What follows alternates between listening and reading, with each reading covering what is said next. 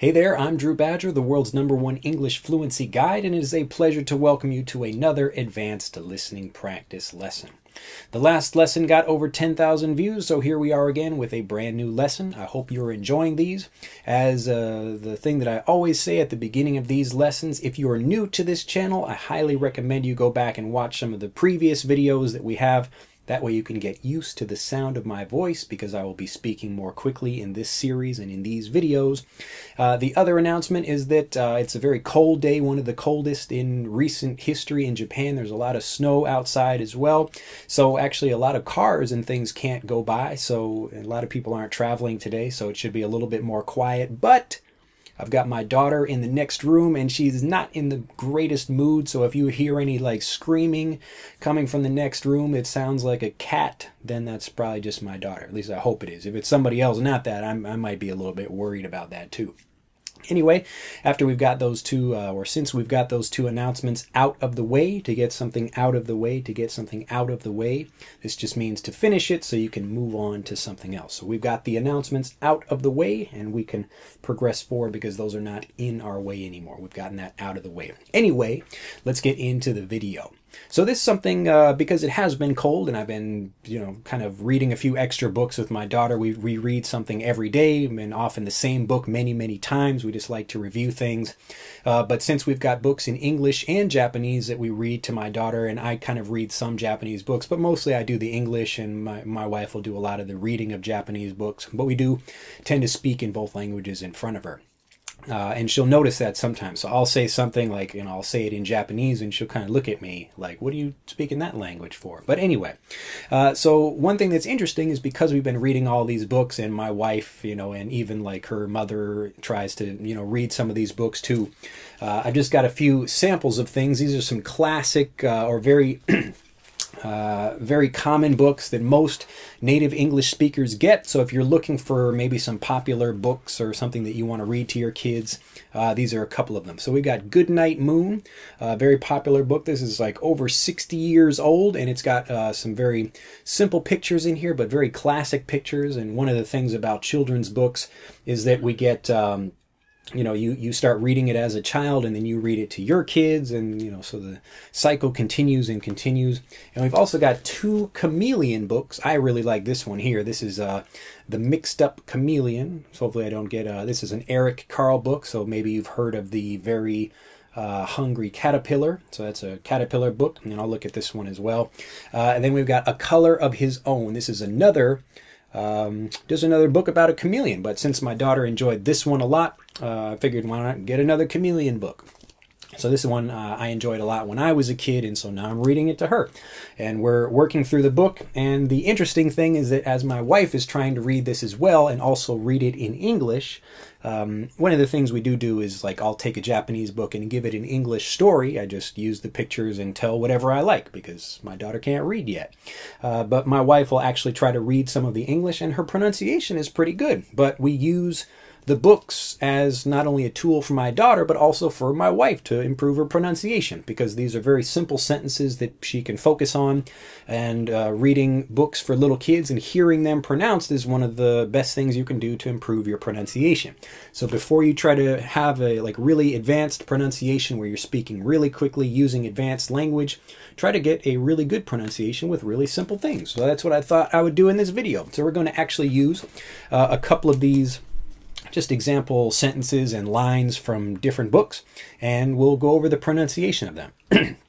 so, as we're beginning here, so uh, the first one here is called A Color of His own. Now, if I'm going to pronounce this in a very clear way, a color of his own, now it just means like as kind of the backstory for the book, uh, a chameleon can change its colors. And so a color of his own means that it's a chameleon color that's only for the chameleon or something that like the chameleon always has.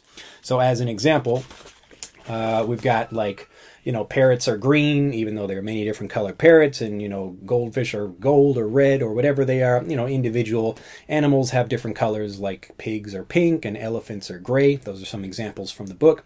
Uh, but the chameleon is sad because he doesn't have a color of his own, so that means his own individual color. There goes the baby sound now.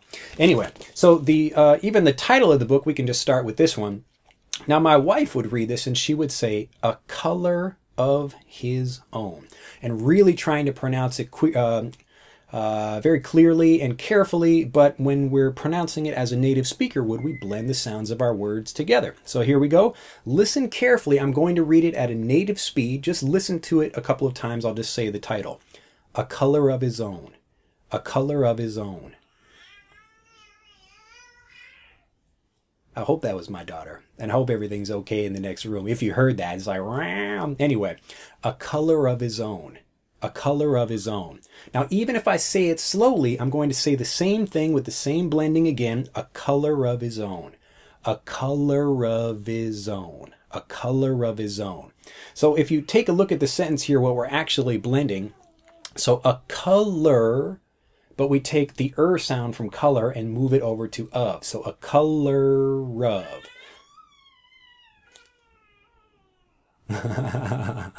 well, I hope that's entertaining, you know, even if you can, it kind of like livens up the video, have like the kind of cat noises and baby noises coming from the other room. But a color of his own. So a color of his own. We blend the sounds of the words together, especially when we have a consonant. So we have like of his, the S from his, and then the O from own. So we don't say his own, we say like his zone, his zone, his zone, his zone, a color of his own, a color of his own. So I'm going to just read uh, read a few pages of this just so you can see what it sounds like, and then we'll take a look at some of the other books as well.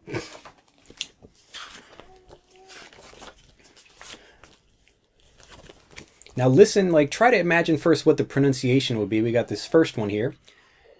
Parrots are green. Parrots are green. So I don't say parrots are green. I'm saying parrots are green. Parrots are green. So with the tsar, tsar, tsar. Parrots are green. Parrots are green. So this is a perfect example of a sentence where we've got the uh, S from parrots combining with the R or the A sound from R. So parrots are green. Goldfish are red. Goldfish are red. So this is another example here. Goldfish if you can see that. Whoop. There we go. Goldfish are red, but it becomes goldfish are red. Goldfish are red. Goldfish are red. Goldfish are red. Goldfish are red. Again, we're taking the sounds of our words and blending them together. And you should get a good idea of how this sounds because it becomes easier to say if you blend it together and more difficult to say if you're trying to sound out each sound individually. All right, here's a longer one. So we've got a pink pig here, and it says, All animals have a color of their own. All animals have a color of their own. Now I'm going to pronounce it like a native speaker. All animals have a color of their own. All animals have a color of their own. A color of their own. A color of their own. All animals have a color of their own. So that's enough for this one. Uh, we can also take a look at uh, Goodnight Moon. This is another uh, classic, another favorite book here uh, for many kids.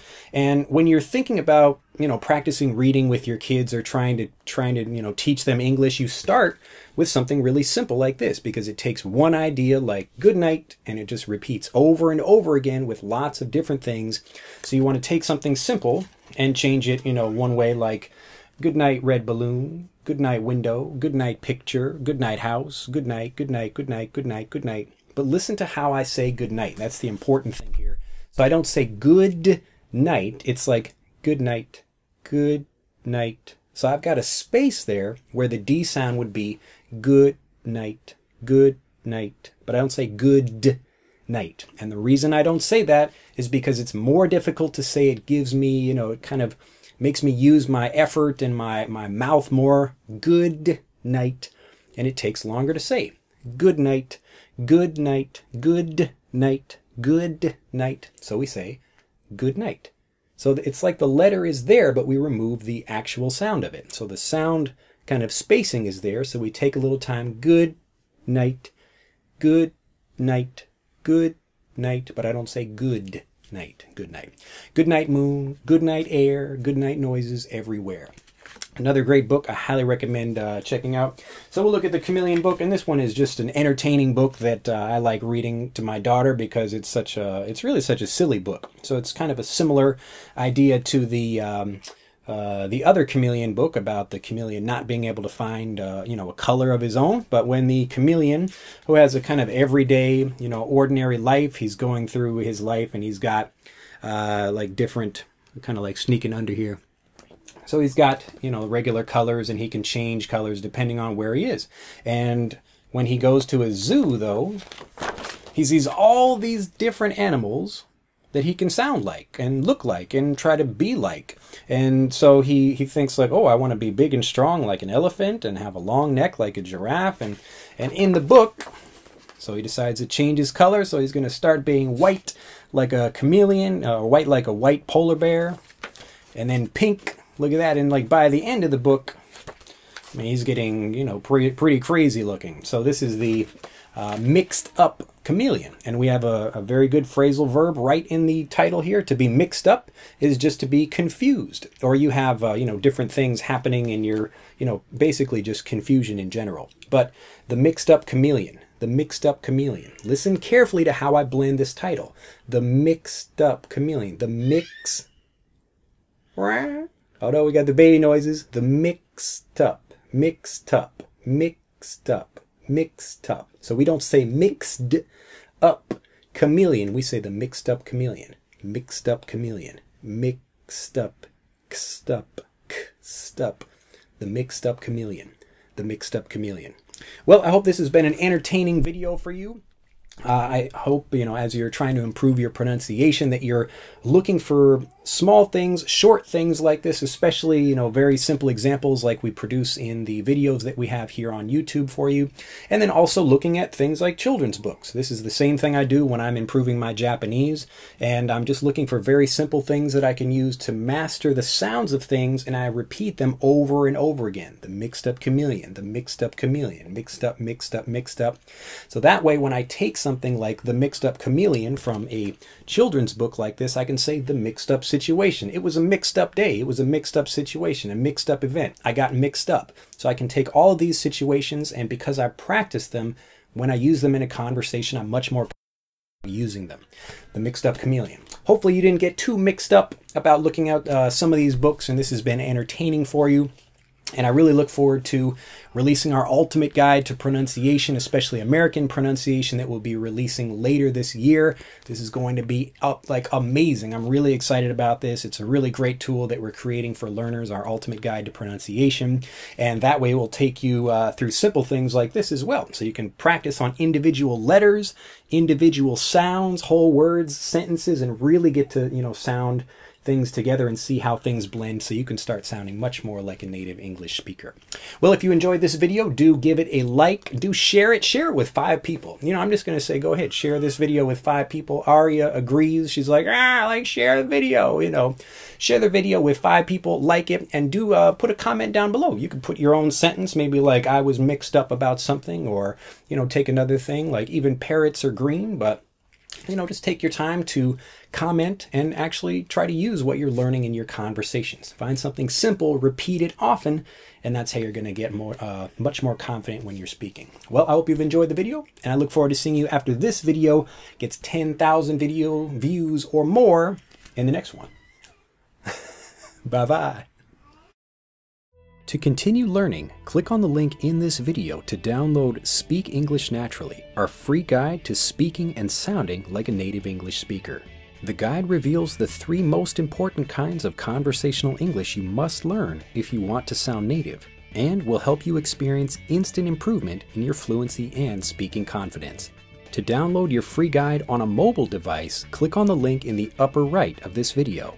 To download your free guide from a computer, click on the link in the lower right of this video. I look forward to seeing you in the guide.